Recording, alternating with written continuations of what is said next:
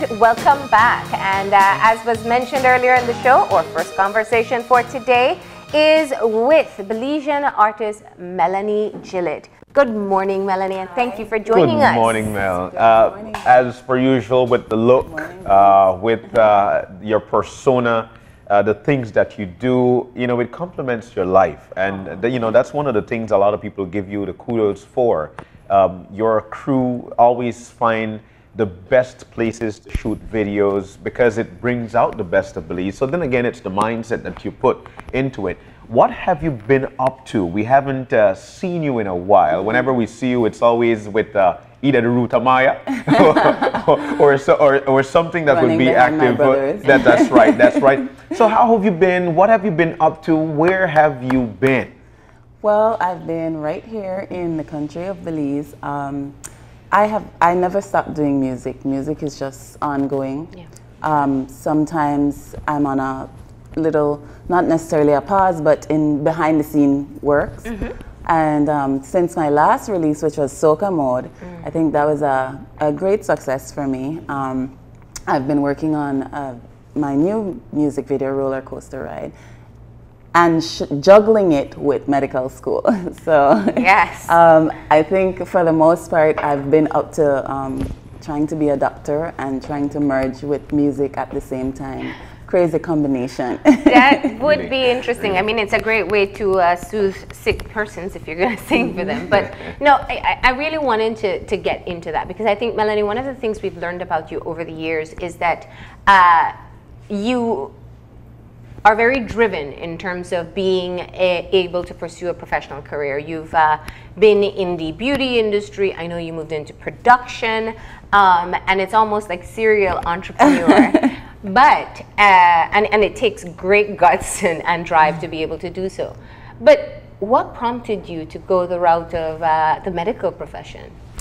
well, uh, it's something I always wanted to do. I think as far back as I can remember, if they would ask me what I wanted to be, I would say when I was a little girl, I wanted to be a doctor.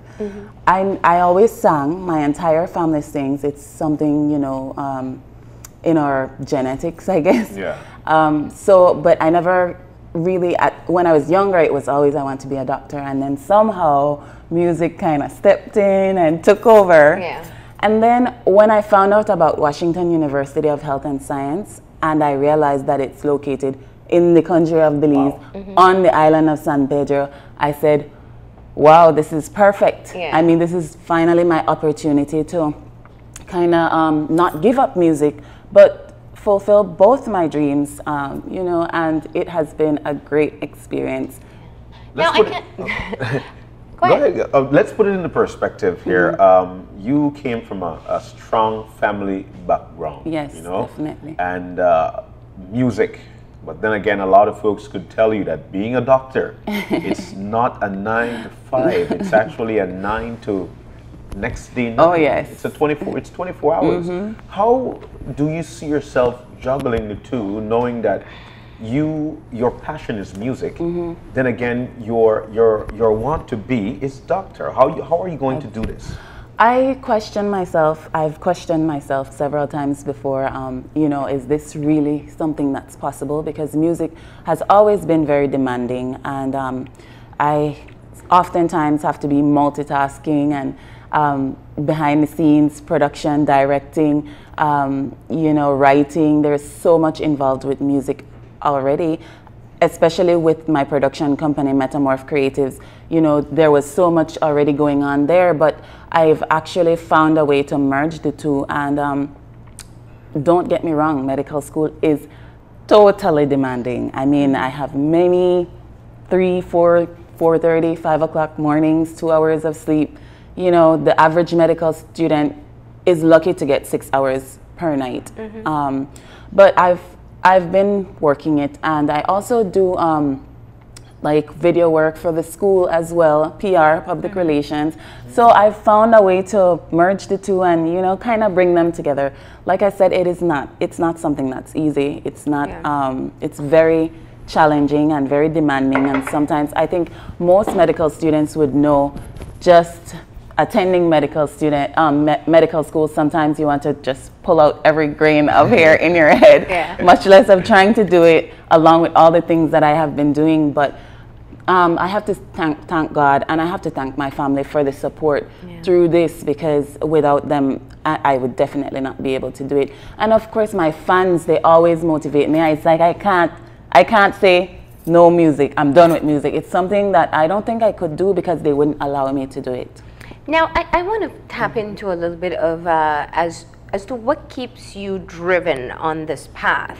You know, we've had countless conversations with mm-hmm. you over the course of the show. Mm-hmm. Um, and uh, we know that one thing you always aim to do was to uh, be an artist, but to maintain a professionalism that was unique to Belize at the time, mm-hmm. uh, working with a manager, uh, kind of having the business aspect of the music going mm-hmm. from the onset. And you've spoken openly many times about challenges oh, for yes. support. Mm-hmm. Uh, what do you say uh, to to other artists and uh, from your own lessons that have been learned on this path? We now see, and I can tell you from this end, when we tap into artists, that there is now the business mode tagged on to mm-hmm. even the newest artists. Yes. But mm-hmm. talk about your own experience in getting to that point. Um, I think for me, it has been, like you said, you know, we all know we've discussed it several times before. It's it's been challenging in a growing music industry, in a young music industry. Mm-hmm. For me, I think um, my advice would be to sometimes to upcoming artists, just sit back and observe, you know, the people that are in the industry before you, because you could kind of say that they have taken they're like the guinea pigs, mm-hmm. you know. Just use that, um, use their, their, follow their footsteps kind of thing. Not not do exactly what they're doing, but yeah. just do a lot of research and um, analyze, you know, the industry. Definitely make sure that there's that business aspect from the start because that is very important in being able to continue. Yes, you could get up today and say, oh, I'm going to be an artist, I'm going to do this, but to have that longevity, there has to be the business aspect of it. Um, I think the private sector has been tapping more into it and understanding. I mean, we have more endorsements. I mean, coming a long way from Pink. Yes. Pink endorsement. Yeah. I mean, wow. Which was a first in the Yes, yes, yeah. it was a first. I think in the industry mm -hmm. on a mm-hmm. whole, and um, to now, you know, we're having telephone companies. We're having um, you know, the, the rum companies endorsing. We have a lot more of the private sector very much involved in, in, in the industry and having that vision to see the benefits of working yeah. hand in hand. So I think um, definitely tap into the private sector and um, get you know get get yourself going set it up right in the business aspect and in terms of uh, i love that you talk about the sense of openness that now exists mm-hmm. but what's one of the areas that there's still a bit of a struggle um, i would definitely say that it would be nice if uh, music could be um, more prominent in the schools ah. so that from the time you're young you could be you know, nurturing this talent and yeah. developing. And of course, there's always more room for um, mm-hmm. um, investment. Yeah. I mean, I, when I speak about it being a little easier now to, to get the investment, we still need more support. It's, yeah. it's definitely not sufficient. Yeah. Um, so I would, I would say I, I would love it to mm-hmm. see more more of the private sector, more of the government. I was at the film festival last night yes. and I was very, very happy to see that the government is much more involved Mm -hmm. in in the in the film festival, which is something great for the country of Belize. Yeah. Excellent. So, what do you say? Because, uh, and I think this is a very important aspect of uh, being a musician mm -hmm. and and for folks aspiring to parental that parental consent for those who want to or who are aspiring to be musicians. Mm-hmm. Then again, parents always telling their children which is the best thing for them to do to try and find a career that would be uh, paying, uh, you know, that would mm-hmm. that would pay you that, that you could would live be from. Taboo. Yes. now, in a in a situation like this, you you are a prominent Belizean artist. Mm-hmm. You're an aspiring doctor. Mm-hmm. What do you say to a parent?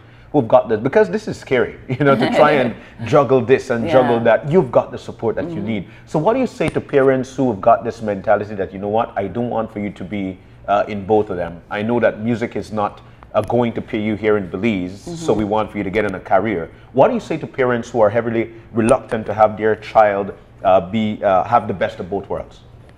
I would definitely say to them that um, your lack of support for your children only makes matters worse because, uh, especially in this day and age, this generation, we're very resilient. And the more you tell me not to do something, the more I will fight to do it. So, why not encourage them to do it along with something that you might seem, you might think more fruitful or, you know, more uh, realistic, if you want to say. Um, but just support them. I mean, music is, it has so many, so many benefits mentally and in so many other ways. So I would say support them. Don't, you know, if you don't, it's not necessarily the best thing to just folk, just do music and that's it, especially in the country of Belize. But um, support them and and uh, you know try to find that middle ground. Yeah. Like for instance, like you said, I am studying to be a doctor and doing music at the same time. So don't push it aside. Let them have you know balance it somehow. It's very possible to do that. What do- and what does music what does music do for you? Or putting a putting uh, ink to a paper. What does that do for you? It's stress relief. um, it's just great to be able to be creative, that's for sure. I'm naturally creative, and sometimes I think I'm bursting with all these ideas and craziness inside my head, and sometimes it's good to be able to put it on on paper. It's like therapy for me. Yeah. And it, you know what is even more rewarding when I write something from the heart that appeals to the masses, that people mm. can relate to, that people can listen to my music and think, wow, she's going through that too. Yeah. I mean, I'm normal, there's nothing wrong with me. Yeah. And let's, uh, that's what I wanted to get at your own musical journey. So we've seen you take on so many different genres. Um, uh, the last, as you pointed out, was soca. And I can recall the conversation that you spoke about being able to know your audience and know what they want and, and allowing uh, yourself to be able to creatively express something they like. So, roller coaster ride, uh, what are we talking about here? The battles of uh, keeping up with everything in your life? You could say that. Uh, definitely, we all know life can be a roller coaster ride That's sometimes, right. Ups and downs, around and around. Um, in this particular song, you could relate it to anything you want. You know, it doesn't necessarily have to be love. Of course, the video depicts love because, as we know, We love love stories. exactly. And um, I think love can be one of the biggest roller coaster rides. So um, that was how I depicted it. But roller coaster ride can appeal to uh, apply to many aspects of life. It, it- not only love. when did you write the song and what was the process like? Funny story. I did not write this song. Okay. this is the first song that I am written by someone else, um, Kilone Garbutt. Okay. I actually heard this song maybe six or seven months ago. He sang it to me. He's an amazing artist, actually, and he has a phenomenal voice. You actually hear his voice featured in the second verse of the, the, the song. But when I first heard the song, he was singing it for me, and I said, I spun around and I said, sing it again. And he sang it again. And I said, one more time. And he sang it again. And then I go, okay, just one more time. That's how, you know, how much I fell in love with the song the second he sang it for me. And like I said, it, I had never done something like that before. So it was a new experience for me. And I like new things. Yeah. So. Yeah. What um, was his reaction? I mean, this is very common in the music industry. Uh, we always, uh, people when they discovered Sia, finally realized that she was behind many of the major hits uh, that other pop artists sing. Uh, your process of convincing him to release his music to you or collaborate with you, what was that like? Actually, it wasn't um, diffic- difficult. We had been talking about collaborating for a while, and the opportunity finally presented itself. I think at that point in time, we were kind of brainstorming, and he was going through his files, and because he does have a, a lot of music, he's been doing it for many, many years, and he might be behind the scenes, but Um, he's very talented. So when I when I heard the song, like I said, it was automatic, and it was like that final moment. Okay, this is what we're doing, and this is how we're doing it. All right. And the music video. Uh, tell us about the behind the scenes. Who do you tap into to produce? and uh, concept? Well, as you know, I have my production company, um, Metamorph Creatives, and so I think, especially where I am concerned with my music videos these days, I have been mostly producing them through Metamorph Creatives. So, um, of course, Michael Vasquez was a part, I mean, a major part of my team and the cinematography. And I mean, if I start calling names, it would never be done. Kendall Simpson, uh, you know, on the production and stuff like that. I do have a large team, and I did list off a large list of people because this is these things. They it doesn't take a one. It's not a one man army. yeah. it's like a huge team, and um, so a lot of people were involved. But like I said, Metamorph Creatives. Um, it would not have been possible without the support of Digicel to make this happen. They are my platinum sponsors. I mean, I have to give props where it is due because they believed in something and they've been believing in me for many years. So um, all of it is just a whole lot of people that came together to make it possible. Just a, a quick peep, uh, a, quick, a quick peek there of, of the video. Uh-huh. It seems to be uh, based on the island.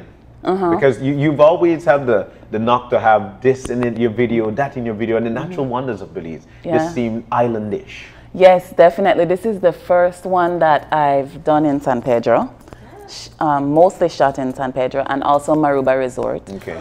And um, so, I mean, San Pedro has some of the most beautiful scenes that you could ask for. So, luckily, actually, the weather was pretty bad, but um, luckily, with the drone shots, we got a little, uh, I guess you'd call it like a coral island, dead coral reef or whatever. And it was, you know, perfect. I was like, man, it is so amazing to have Belize as my platform, as you know, because it's it's not easy to find locations generally, but Belize offers so many lovely locations that I have it right here at my fingertips. That's right. That's right. And uh, how long did it take you to shoot it? Was it one of those ambitious one day shoots? Something like that? Definitely not this one. No, no, no. Um, this one, it took, I mean, I took maybe three or four months to get this one together. Okay. Like I said, juggling with school and everything took me a little bit longer. But um, I took my time. I, I knew what I wanted. I knew I wanted to do something different, as I always try to do something different. But I really put a lot into this one, into ensuring that everything came together. And um, yeah, so it took roughly four or five months. And your most memorable scene in the in the video? my most memorable scene. With oh the- my gosh. Tell us, tell us the back, back, uh, behind the scenes. Um, my most memorable.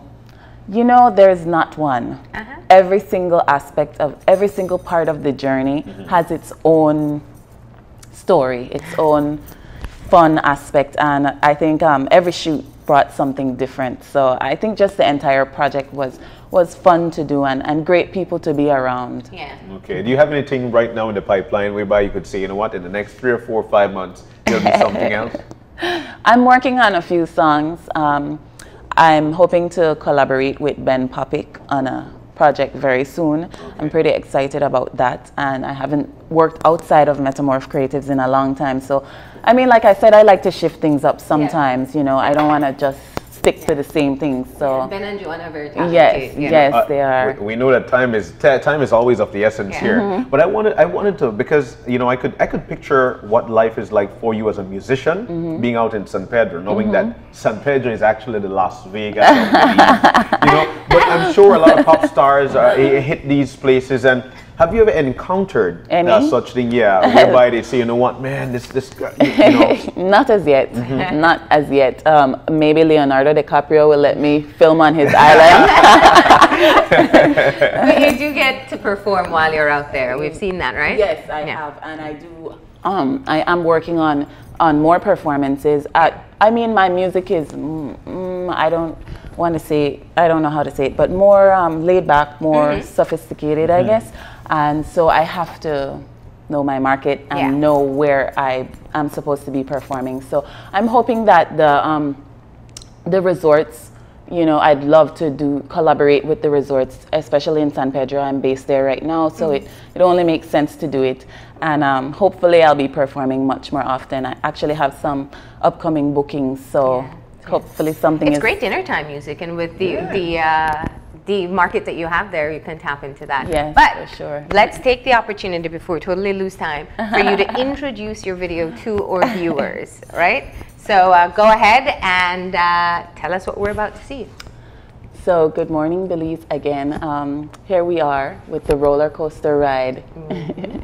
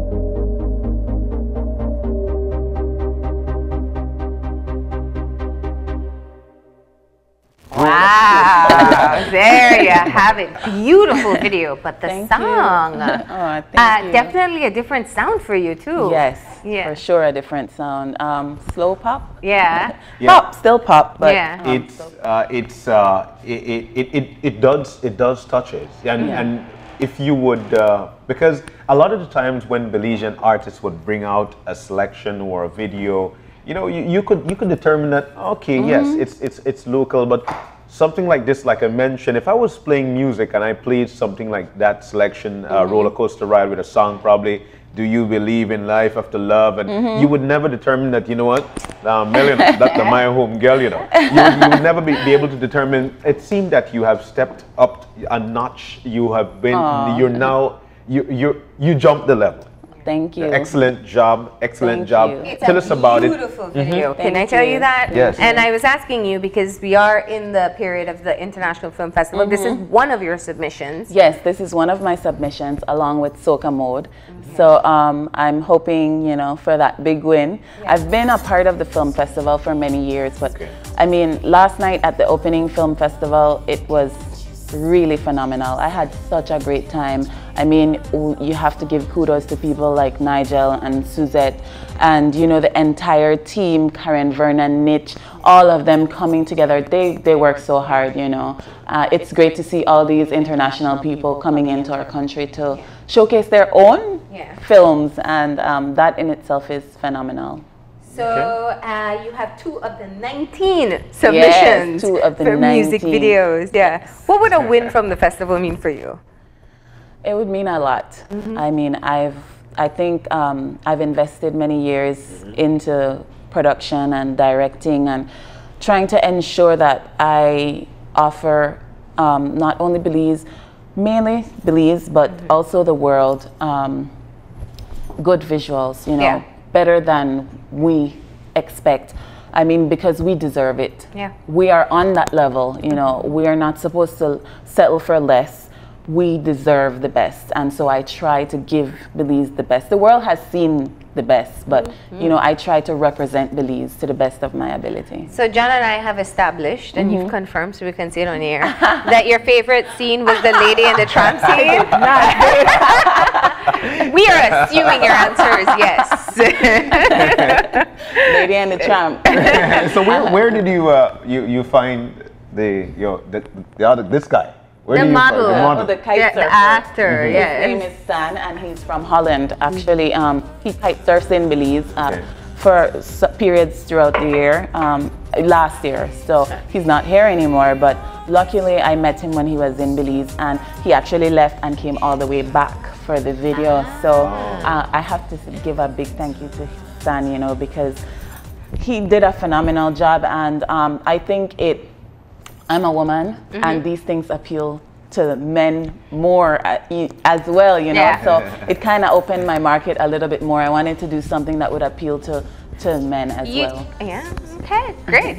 And uh, for the women, still with the eye Of candy. course. I mean, but we know Let, let's not ignore that. but great job, Melanie. Of course, uh, we want to thank you for stopping in and giving us all the behind the scenes uh, info about your latest video. People can find you. it on Facebook and YouTube. Yes, Facebook and YouTube, and um, of course, melaniegillett.com. That's right. You could always follow me there. Um, like my fan page. You go and watch the video, support me. And if you guys have any question about medical school, Washington University of Health and Mm-hmm. Science, send me a message on Facebook. I could give you all the information that you need. Nice. I mean, I'm actually at the school attending, so it's not like you have to wonder what's happening. I can actually Share give your you that experience. Yes. Yeah. experience. Well, thank you for being here, Mel. We appreciate it. Thank you for having me. All right, best of luck. We're going to go ahead now and take a break. When we come back, it'll be for Brock It Down with Jenny, so stay tuned.